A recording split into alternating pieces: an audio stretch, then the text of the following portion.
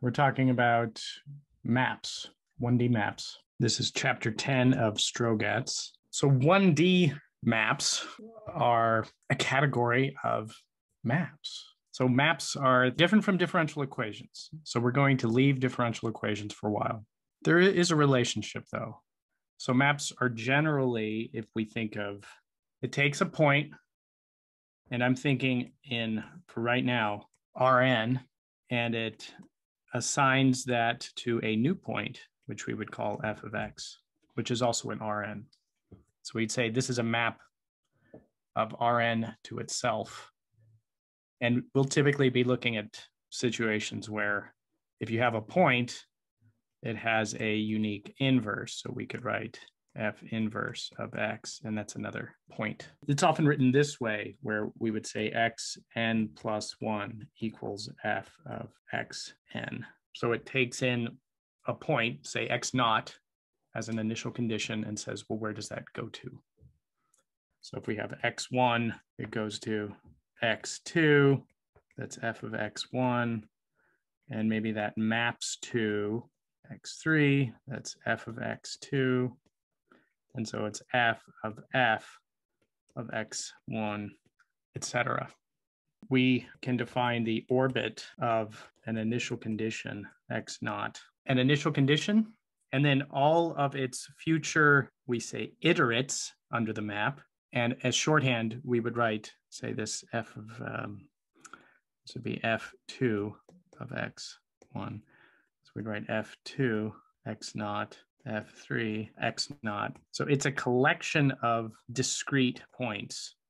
So sometimes these are called discrete maps or just maps or iterated maps. The orbit includes not just the point and going forward, but because of the inverse, we could look at the points that came from there and which mapping forward would take us to that point. So it's an infinite sequence of points in Rn. That would be the orbit of an initial condition under the map. I'm speaking generally of in, in n dimensions in Rn. We will specialize to one dimensional maps and a particular one dimensional map, the logistic map that has a lot of interesting behavior as you vary a bifurcation parameter. You might be wondering, well, what are the connections with the real world? Why look at maps? If you think of dynamical systems and nonlinear dynamics is just another term for the mathematical subject of dynamical systems. The two main categories are continuous dynamical systems, described by differential equations, which we've talked about a lot. The other category are these discrete time dynamical systems, or maps. And there are connections with the real world. One of them is these are tools for evaluating differential equations. So differential equations, the way that we've written them, I guess I'll write here, x dot equals capital f of x. This is a continuous time, but really what happens with things like computationally, when you do simulations with say MATLAB, Mathematica, or any type of simulation tool, it's creating a map from this ODE. So you actually are simulating a map approximation that tells you if you start with this initial condition and there's the vector field, where will you go after some short amount of time maybe a long amount of time later you'd be here at x1 so x1 would be the flowing under the ODE for a small time step delta t. And that's obtained from something like a Runge-Kutta algorithm. If you've used ODE 45. Dr. Ross. Yeah. Is this then essentially a difference equation? Like the just the um discrete version of a differential kind of thing? In this particular case, as a tool to simulate, yes, but there are maps that don't come from differential equations. Okay. So that's why it, it's actually the more general category of a dynamical system. You could always write a differential equation in terms of a map. In fact, that's how we simulate them. But there are maps that do not come from differential equations. So yeah, if I did a Venn diagram, it would be the space of all maps. And then there'd be you know maps from ODEs or even maps from PDEs, maps from DEs, differential equations. But the category of, maps is is larger than that. So maps are the more general dynamical system. The study of differential equations started first.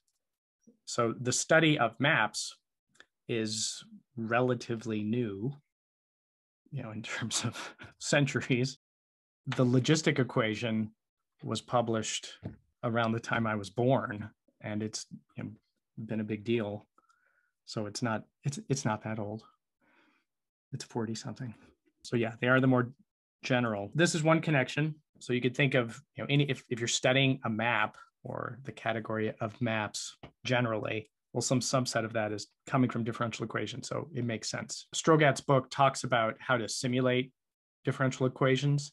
We didn't really talk about it, but it's all writing it as a discrete map. So you might look more into that if you're interested. As another tool for understanding differential equations, and I'm thinking here, we haven't uh, said really anything about this, but if you've got a system in three dimensions, let's say, and you're studying trajectories, you could take a slice of the space and look at how initial conditions start on that slice. Sometimes the slice is called sigma, and the trajectories will, you know, go around and hit this surface again in some other point, and maybe they'll go around and hit it again. If you look at what the dynamics are on that surface, it's a discrete map.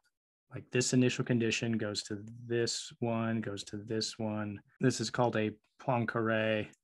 There's that name again. He was the first to use this idea. A Poincare map on a Poincare. He called it a surface section.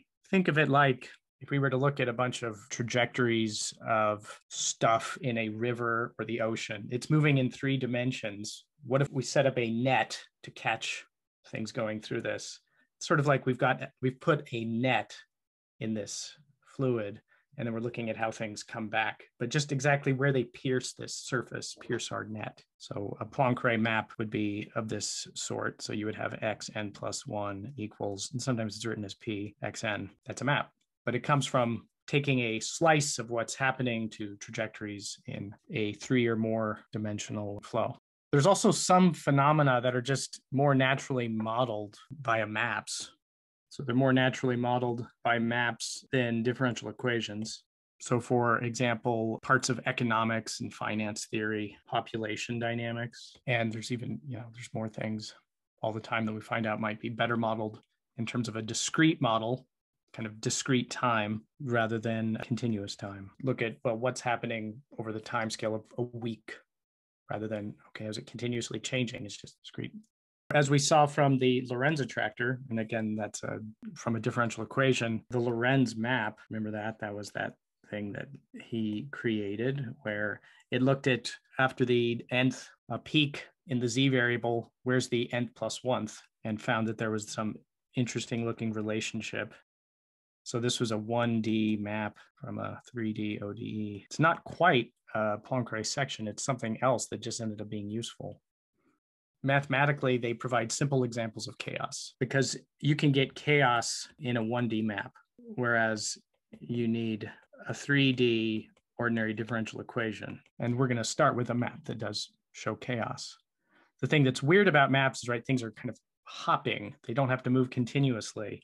So if you've got a point x naught, it just sort of hops and they can they can hop forward and backward and so on.